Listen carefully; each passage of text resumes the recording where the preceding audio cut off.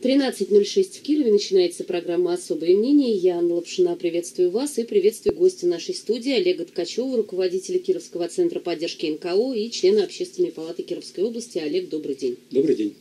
Ну, Олег нам прибежал с судебного заседания, я так понимаю, и мы к нему э, перейдем немножко позже. Это э, дело Алексея Галкина, э, который уже был обвинен э, в заведомо ложном доносе да, на сотрудников э, исправительного учреждения. Сейчас бывает за это повторное наказание, ну и я так понимаю, что вот вас в качестве свидетеля по этому процессу вызывали. Мы об этом уже говорили просто. Ну, уже по-другому. То есть там еще одно уголовное дело, угу.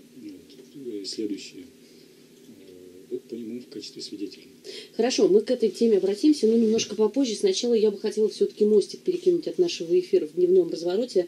Мы, я помню, напомню, обсуждали Э, катастрофу э, Ан-148 под Москвой компании саратовских авиалиний, которые в том числе занимаются перевозками по рейсу Киров-Москва, Москва-Киров э, пассажиров из нашего региона. Вот в такой связи я хотела с вами поговорить.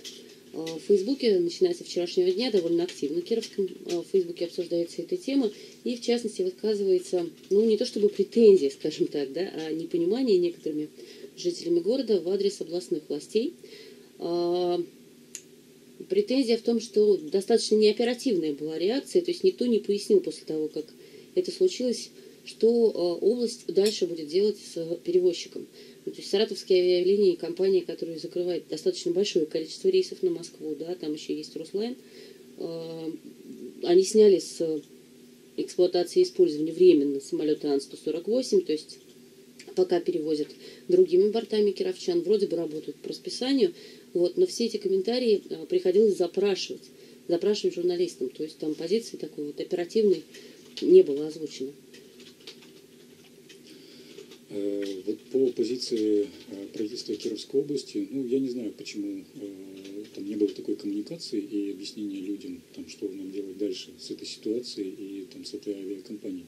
Мне кажется, было бы разумно Э, отреагировать сразу же и там, рассказать, какие меры предпринимаются по выяснению там, с авиакомпанией, э, что не так с их э, парком самолетов, как будем поступать дальше. Ну и эту информацию, по крайней мере, жителям внятно, четко объяснить, потому что люди находятся в шоке после большой трагедии, и стало известно, что буквально этот же борт летал там, э, из Кирова, то есть днем раньше... 8, 9, 10 февраля он вез пассажиров по рейсу Киров-Москва. Да. да.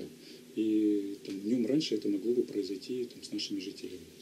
То есть я понимаю, э, люди находятся в шоковом состоянии, у них много вопросов. То есть на эти вопросы желательно, конечно, получить наиболее там, быстрые и точные ответы, Э, и от кого получить? Ну, разумеется, от авиакомпании, э, ну и, разумеется, от правительства Кировской области, потому что правительство Кировской области э, имеет непосредственное там, отношение к заключаемым там, контрактам на перевозки, к деятельности там, объекта, находящегося на их территории. Хотелось бы, ну, я думаю, что я думаю, что в рабочем порядке это, конечно, там движение какое-то началось, но жителям об этом ничего не известно. Ну, в официальном комментарии, по крайней мере, говорится э, о том, что в штатном режиме идут поиски э, новых перевозчиков, да, которые могут работать в нашем регионе. То есть нет такого, как в Оренбургской области, где э, практически мгновенно отказались от услуг саратовских авиалиний. Но у нас сегодня в эфире Ирина Левина, их Москва в Оренбурге, поясняла, что рейс Орск-Москва и Москва-Орск это был единственный рейс, который выполняли в Оренбургской области саратовские авиалинии. Ну, поэтому они э, оперативно заменили э, другим перевозчикам Иш-Авиа и, и, собственно, вот, сразу же отказались. Ну, там понятно, да, э, большая трагедия в регионе. Вот, у нас такого, что вот кто-то сказал бы раз, и мы там прекращаем сотрудничество, такого нет. Наоборот, говорится, что мы продолжим сотрудничество с саратовскими авиалиниями. Саратовские авиалинии, я напомню, там они пришли на замену, да, фактически победе, которая э, возила пассажиров на новых Боингах. Вот. А сейчас, судя по тому, что сообщают федеральные СМИ, после отмены Ан-148, там временной приостановки их эксплуатации, летают на Яках-42 и на Эмбраерах. Эмбраеров 2, по-моему, компании, Яков, кажется, 7. Ну вот, и средний возраст Яков 30 лет. Но я думаю, что все равно э, обсуждать, э, чем заменить, на, что заменить, э, кем заменить, какой авиакомпании заменить, это там сложные организационные, экономические, технические решения, которыми должны заниматься специалисты.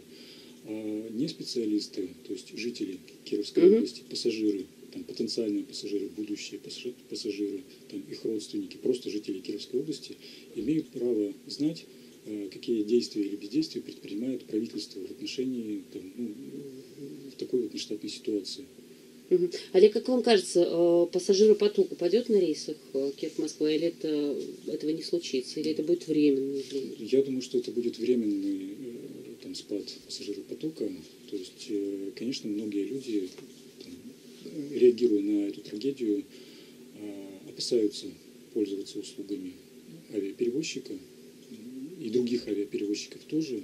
То есть это не прибавляет оптимизма э, людям, когда они там, выбирают варианты маршрута от Кирова до Москвы. Э, Но, тем не менее, я думаю, что авиаперевозки все-таки как класс сохранится. Э, То есть все-таки отказываться от авиасообщения там, с Москвой не будут из-за этой трагедии. Ну, я должна еще отметить, что было такое мнение, тоже в социальных сетях озвучено, а, может быть, имеет смысл как раз не отказываться от услуг саратовских авиалиний, потому что ну, после случившегося, конечно, в компании пройдут проверки всех возможных уровней, да, и вот уж а, там качество работы будет ну, там, от и до исследования. Вполне возможно. То есть я надеюсь, что все-таки предстоящие проверки э, позволят повысить безопасность на авиамаршрутах. Олег Ткачев, руководитель Кировского центра поддержки некоммерческих организаций, член общественной палаты Кировской области у нас в эфире. Есть еще одна тема, которую хотел бы с вами обсудить. Тему тоже минувших выходных. В субботу в Кирове а, прошла пресс-конференция, которую организовали а, жена Никиты Белых, Екатерина Белых, э, э, Екатерина Рейфер, так ее да, а, знают некоторые, Андрей Грохотов и еще адвокат э, Екатерины, насколько я помню, его фамилия Бергман, да? А, Вот, не знаю, вы как-то следите за этой темой или нет? Я читаю э, там, репортажи из зала суда, там, я читаю какие-то пресс-релизы, выступления, там, э, отдельное мнение. Там, э, конечно, эта тема э, интересует меня как жителя Кировской области. Э, ну, что здесь э, пояснить? То есть э, пресс-конференция, то есть состоялся приговор. Это насколько частое явление вообще, что после приговора сторона э, обвиняемого, ну, вот какие-то такие Это не- публичные... Это не очень часто, вещи это не очень частое явление, но Мгм. я думаю, что в данной конкретной ситуации это все объяснимо. То есть сторона защиты э, решила э, приехать в тот регион, где э, фигурант дела был губернатором, и объяснить там, всем заинтересованным, кто пожелает прийти, там, э, в чем же суть дела, там, если кто-то еще не слышал, не читал, э, то есть объяснить из первых уст там, свои впечатления и там, свое отношение к этому делу, то есть э, каким-то образом э, сформировать общественное мнение, то есть э, разъяснить все неясные вопросы. А зачем его формировать? Ну, это честь человека.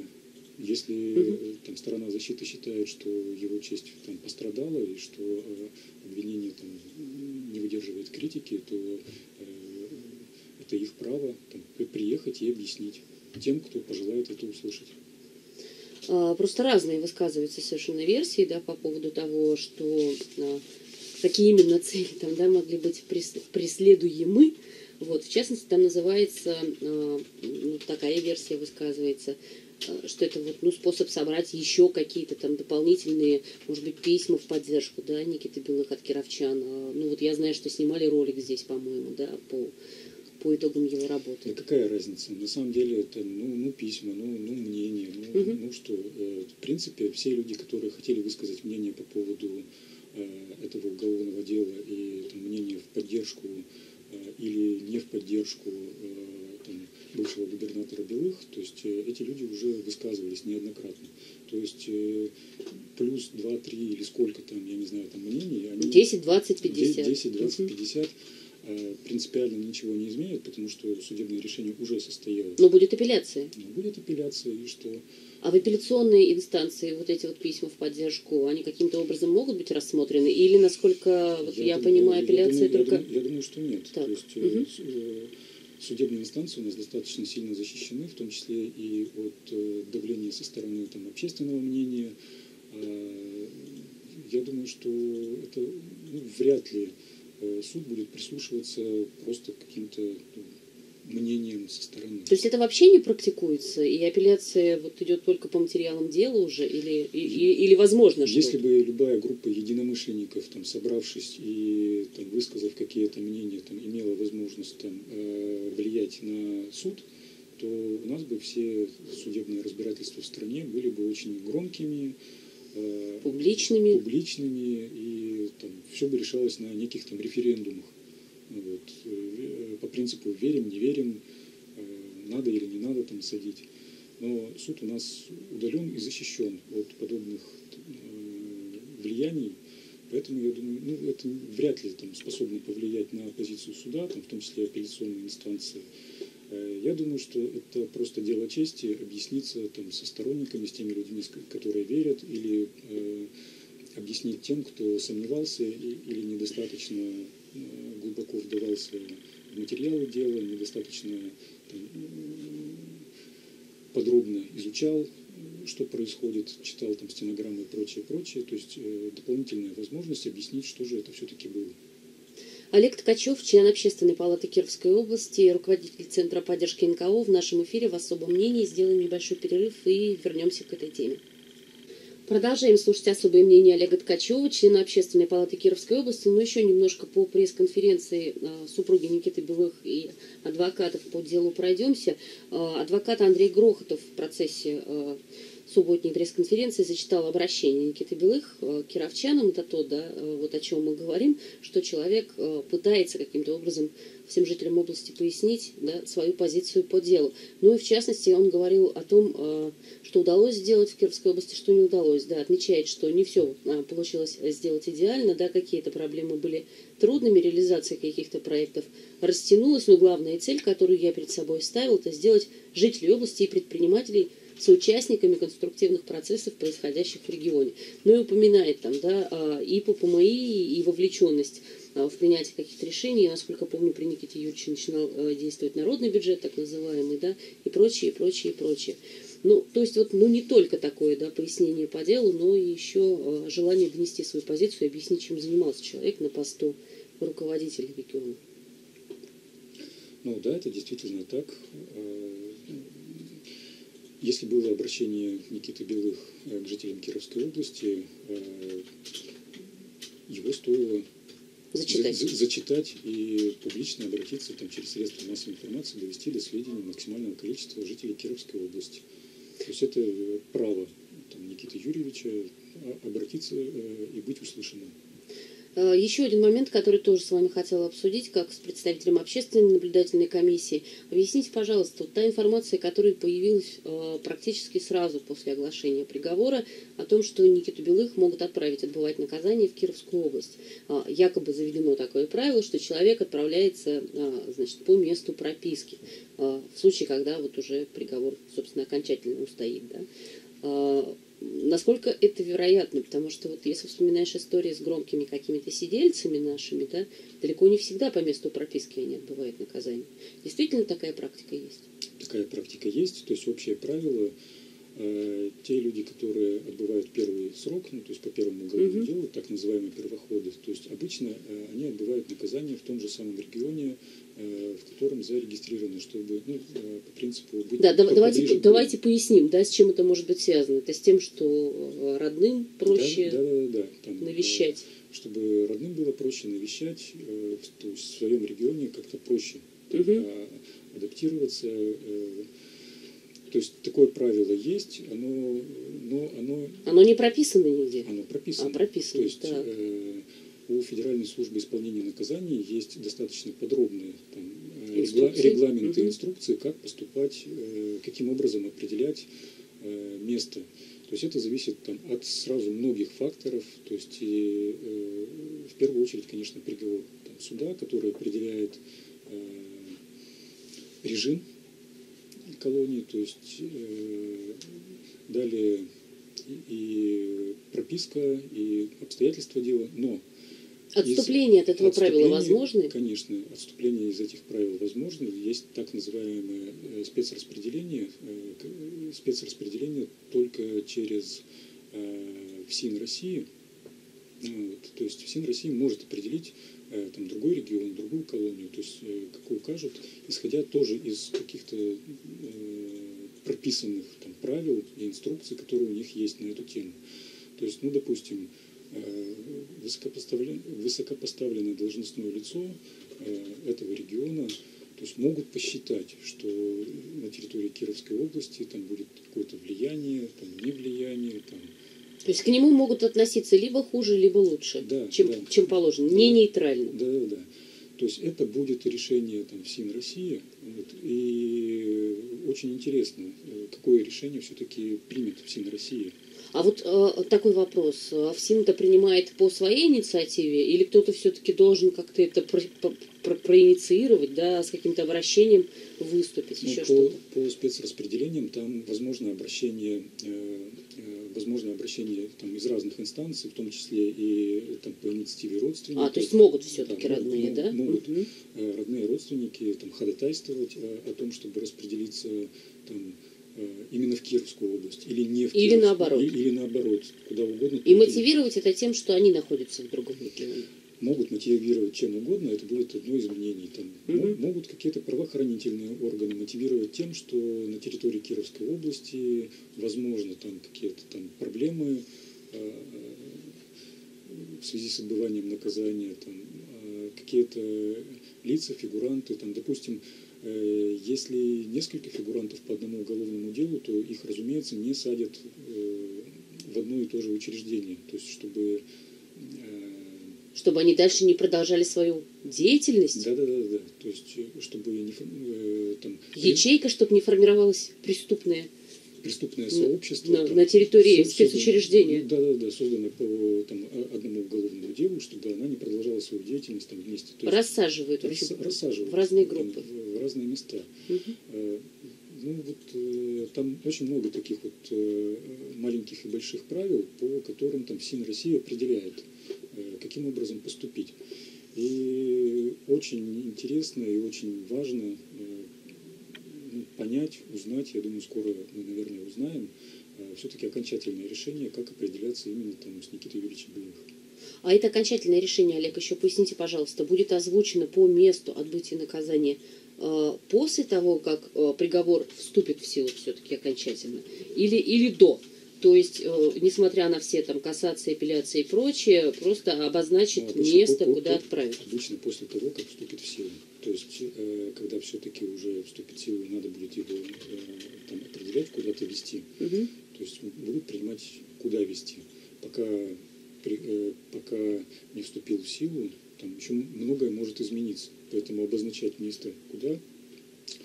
Ну и хотелось бы оговорить, что конкретное место, где будет отбывать наказание, эта информация так-то не публичная. А, то есть это... ее, э, то есть и, название учреждения точно не озвучат, но могут озвучить регион. Э, вот эту информацию сообщат родственникам, и жена имеет полное право знать. Вот. А, а озвучить имеет ли она право? Она-то имеет право, то есть э, ну, по своему желанию, по договоренности там, с осужденным, но э, бывают случаи, когда осужденный э, не желает Э, информировать никого о месте своего пребывания. То есть такое не часто, но бывает. То есть человеку, например, стыдно. Вот, и он там дополнительно сообщает, что не желаю сообщать никому. И эта информация держится в тайне, там в СИН России никому не скажет, э, в каком конкретном... Даже родным? Или родные все-таки будут знать? Если явно будет выражено там желание, то есть это его персональные данные, так. то есть местонахождение. Если он запретит, то в том числе и родные. А как же там переписка если и он, прочее? Если он запретит, Ясно. то есть это э, от его желания. Угу. Ну, учитывая, что адвокаты заявляли о намерении пойти в обжалование приговора там, до самых верхов, да, я так понимаю, что информация о том, я куда думаю, Никиту Юрьевича отправить отбывать наказание, еще не скоро озвучат. Мы, э, все равно э, рано или поздно, а скорее там через пару-тройку месяцев, мы все-таки узнаем. Понятно. Олег Ткачев, э, член общественной наблюдательной комиссии Кировской области, член общественной палаты Кировской области, руководитель Кировского центра поддержки некоммерческих организаций у нас в эфире. Это его особое мнение. Мы сделаем небольшую паузу и вернемся в студию. Продолжаем разговор с Олегом Ткачевым, руководителем Кировского центра поддержки некоммерческих организаций, членом общественной палаты. Еще одну, а, одну такую важную э, вещь хотел с вами, Олег, обсудить. Накануне появилась информация, опубликовал ее Э, издательства э, «Красная весна». Вот. После этого достаточно активно подключились местные э, средства массовой информации. Информация о том, что библиотеки Герцена в этом году впервые за 180 лет ее существования не выдали деньги на покупку литературы, новых книг, периодики и прочего, и прочего, и прочего. Ну, вот такая вот грустная новость. Я не знаю, видимо, связано это с экономией областного бюджета и тем, что нам надо расплачиваться с долгами перед кредиторами за государственными. Мы неоднократно говорили, что Кировская область находится в таком э, в печальном положении, то есть э, об этом говорится там, уже не один год, не, не, не при первом губернаторе. Угу. Э, э, с каждым годом дела все печальнее и печальнее. Мы глубоко дотационны. То есть, Но мы такие не одни в России. Мы не одни такие. Э, вот в данном сезоне, то есть в данном бюджетном году это коснулось и комплектования библиотек. Но это не это только очень, в этом году, это в ближайшие три года будет, я так это понимаю. Очень, это, это очень грустно. Ну, то есть сейчас это вот началось. Э, это очень грустно. Я думаю, что все-таки необходимо там средства изыскивать, э, не, необходимо все-таки обращаться и к депутатам законодательного собрания, чтобы они все-таки сделали поправки там, в бюджет и на какие-то нужды все-таки изыскивали какие-то средства. Олег, а кто должен обращаться к депутатам законодательного собрания? Руководство библиотеки имени Герцена? Люди, читатели, кто?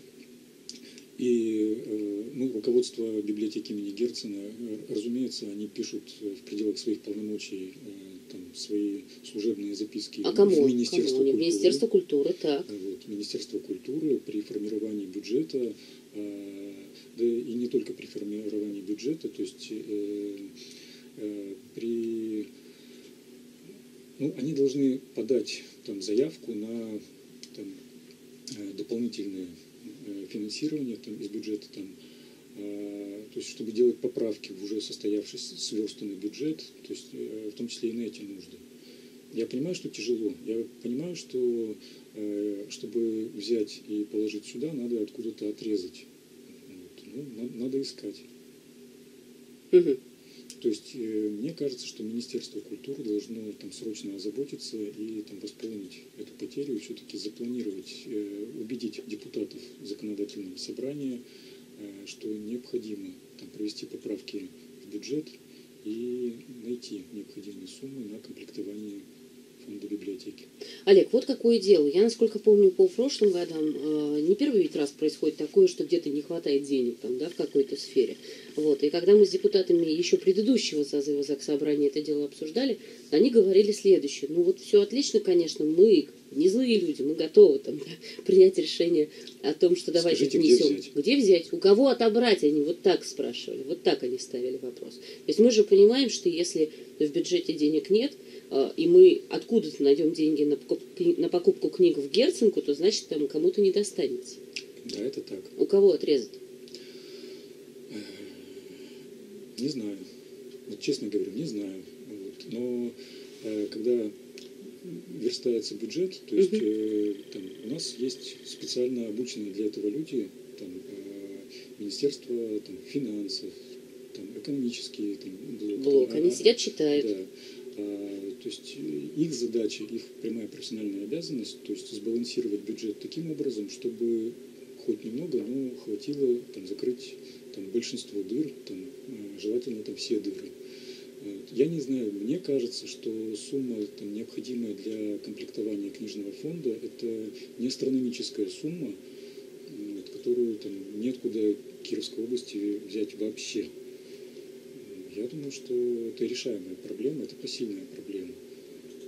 Как вы относитесь э, к тому, что, ну, вот это не Герценко ну, объявляет, да, и я думаю, что они об этом, наверное, даже и не заявят никогда, но э, возможно ли привлечь общественность в таком случае к помощи библиотеки? Ну, старейшая библиотека в регионе, там, одна из старейших в России фактически, да, историческая библиотека, остается без Да все возможно. возможности что-то покупать. А может Герценко, как бюджетное там, учреждение государственное, вот, э, объявить о сборе средств? Слушайте, ну у нас Или есть- им запрещено? У нас есть некоммерческие организации, у нас есть э, различные благотворительные фонды, которые могут на себя там, э, взять миссию э, вот, сбора пожертвований от населения там, в пользу э, библиотеки, то есть на целевое э, расходование средств именно там, для пополнения фонда. Но это, конечно же, это, это дополнительные усилия, которые э, никаким образом не отменяют необходимость действовать на государственном уровне. То есть на, государ- а на государственном уровне это формирование бюджета, это э, исполнение этого бюджета, это защита э, там, статьи бюджета вот, на эти нужды. Там, это обязанность государства. То есть должны подать пример. Дело В не некотором том, смысле. Дело не в том, что подать пример. Там, усилия общественности по сбору каких-то собственных там, средств на эти нужды, да, это усилия общественности. Это всегда э, только лишь дополнительно. Это комплектование там, э, государственных фондов, э, которые находятся в государственном учреждении. Это прямая обязанность государства. Это предписано и законами, законами прямого действия. Олег, высокотехнологичная медицинская помощь тоже прописана российскими законами в случае, когда она а, нужна в угрожающих жизни ситуациях. Но мы же понимаем прекрасно, да, далеко не всегда она оказывается, иначе не собирали бы деньги на лечение детей и прочее, прочее, прочее. Да, ну, э, здесь ну, не скажу, что такая же, но сходная по техническому воплощению э, там, мысль. Э, государство обязано, оно много что обязано. Вот. А люди могут скидываться, кому не жалко, и помогать в этом. Ну, я думаю, что мы э, представителей библиотеки имени Герцена обязательно в ближайшее время пригласим в наш эфир и все-таки подумаем, да, что мы можем сделать в этой ситуации, можем ли мы как-то помочь, и есть ли какие-то шансы вот на то, что э, с точки зрения бюджета, может быть, отыграют назад или наоборот что-то добавят, да, Герценки. Еще одна новость, связанная с детьми, подростками, такая тема довольно интересная, и, и с общественным мнением, между прочим, связанная. А, Появилась информация о том, что на уровне законодательного собрания как раз, да, может быть принято решение о запрете продажи электронных сигарет в Кировской области. Ну, два депутата выходят, значит, э, вносят законопроект. Юрий Балыбердин, мы знаем э, Юрия Александровича по э, там, работе с молодежным парламентом, Ирина Морозова, да, главный врач Новоярской больницы в прошлом, насколько я помню, да, вот, и, собственно, идея от Владимира Шабардина исходит уполномоченного по защите прав ребенка в Кировской области. Как вам кажется, вот эта вот идея с запретом, она скорее в плюс сыграет или в минус? Плюс для чего? Для кого? детей, для кого? подростков? Я не считаю, что это ну, такая суперзначимая инициатива там, по запрету каких-то электронных сигарет. Там, во-первых, э, э, не, не такое э, там, громадное количество пользуются э, этими электронными там, штучками. А действительно несовершеннолетние их покупают? Не знаю, не видел. Ага. То есть э, я видел там один или два там, каких-то там специализированных там э, ларька или отдела там в каких-то супермаркетах по продаже электронных там э, каких-то этих самых си- сигарет. Э, Я не увидел э, там больших очередей, а тем более очередей подростков, стоящих э, за покупкой этих гаджетов. Они достаточно такие ну, недешевые. Э, Я не уверен, что от этого там, там какой-то супер отдельный э, вред, там, вред больше, чем от обычных сигарет. Ну вот говорится о том, что покупка электронных сигарет в дальнейшем, когда а, подросток вступает там, в возраст совершеннолетия, 18 лет, стимулирует его к тому, чтобы начать курить обычные сигареты. По-моему, наоборот, это гаджет для тех, кто э, пытается бросить курить э, там, обычные сигареты и по, э, по степени уменьшения вреда там, переходит сначала на электронные, а потом забы- э, забывает и эту игрушку. Мгм. Вот, и становится просто не курящим. Для тех э, людей, которые первый раз начинают там, и вот именно с электронных, я не знаю, как это работает, потому что нет даже прак- ну, вот, Исследований нет. ни, ни исследований, и у меня даже вот не на что опереться с точки зрения там, каких-то общих знакомых, Мгм. которые бы э, первый раз начали там, курить какие-то электронные сигареты и к чему бы это приводило. Мне известны примеры только наоборот. Э, ну, и я не считаю, что это суперглобальная проблема для Кировской области. Будет этот запрет э, или не будет этого Будет запрета. хорошо. Ну, будет и будет. Будет и будет. Понятно. Хорошо, ну и вот тема, анонсированная нами, Алексей Галкин, э, Кировский, как радио, сайт Радио Свобода представляет его Кировский правозащитник. Для меня не очень понятно, да, вот такое наименование. Я, насколько помню, это заключенный, который отбывал наказание в, в нескольких исправительных учреждениях нашего региона. А, Вот, э, освободился и написал жалобу да, на действия сотрудников исправительного учреждения, и после этого был осужден повторно за ложный донос. Да. Э, Ну, насчет правозащитника, мне кажется, средства массовой информации э, слегка погорячились. Э, То есть, мне кажется, это ну, просто обычный осужденный. Э, За несколько дней до э, его выхода на свободу в ВК-20 там произошел там, не- некий инцидент. То есть, И К-20, давайте напомним, где это? В Кировской области. Кировской области, Да. хорошо. Э, осужденный, бывший осужденный э, утверждает, что его ударил сотрудник учреждения, то есть у него было там, э, разбито лицо. Э, администрация учреждения утверждает, что травму он получил при падении с турника там, на зарядке. Э, Ну, человек, находившийся за забором, написал жалобу. То есть э, на- написал о сообщен- сообщил о совершенном преступлении, по сути говоря. Э, Вышел на свободу и далее э, оказалось, что была проведена проверка. Проверка э, не подтвердила там, его слов, что он был ударен сотрудником исправительного учреждения. Мгм. А следовательно, если он не был ударен сотрудником учреждения, то есть если э, преступление не совершал сотрудник, значит преступление э, совершил он, написав заведомо ложный донос. Вот. Э, Было несколько судебных заседаний, в ходе которых там, его со свободы взяли и снова поместили под стражу, как мера пресечения. А, То есть он находился в СИЗО-2, потом в СИЗО- в СИЗО-1. Ну, собственно говоря, э, был приговор, и ему дали еще два года за заведомо ложный донос. Да, и мы помним по этой ситуации, мы с вами разговаривали, да, тут даже дело не в том, был заведомо ложный донос или не было, а сколько в том, что эта ситуация становится системной, и не только в Кировской области, да, любая жалоба, она может для заключенного, либо нынешнего, либо бывшего, да, заключенного обернуться вот такими э, последствиями, да? Ну да, да. То есть, э, к сожалению, все проходит именно вот так, все по такому сценарию. Э, Ну, проверка проведена, э, его доводы ну, как бы не подтвердились. Э, вот, э, след- Человек, человек снова был отправлен на два года отбывать наказание, теперь уже за заведомо ложный донос, и за- теперь за то, что написал э, Жалобу? жал- жалобу, он был отправлен на два года. так, и теперь против него еще одно дело возбудили. Да, то есть появилось еще одно э, дело э, за оскорбление там, представителя там, уч- учреждения ФСИН, то есть когда вот он был э, в СИЗО-2, он оскорбил э, в общественном месте Общественное место это что? Вот в СИЗО общественное место это что, Олег? ну, камерой. Камера это общественное место, Ну, потому что человек там не один. Определение общественного места это э, находится ли э, рядом Кто-то еще. Кто-то еще. Мгм.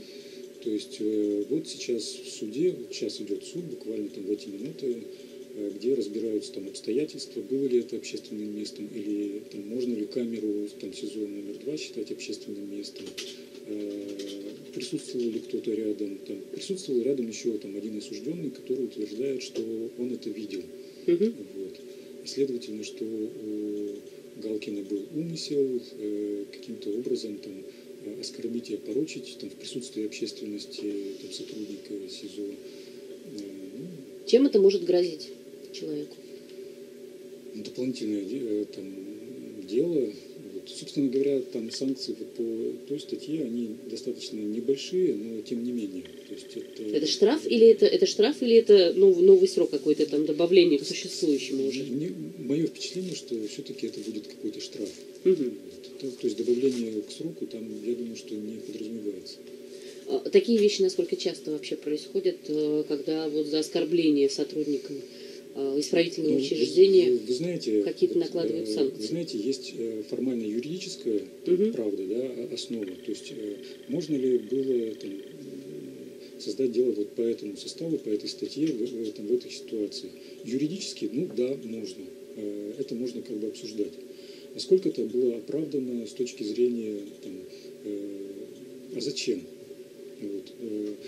Э, Даже, допустим, ну, ну, ну какой-то осужденный, там, э, подследственный, ну, а, обматерил там, сотрудника, там, стоит ли это там, э, возбуждение по неприятной там, статье, стоит ли это столько человека часов Да, может, судей, прокуроров. Тратится же время, Да. тратится же время. Государственная система проворачивает там, все эти жернова, то есть, скорее всего, я не знаю, там, как будет исход дела, но э, если без оптимизма, то, скорее всего, будет там, очередной обвинительный приговор. Э,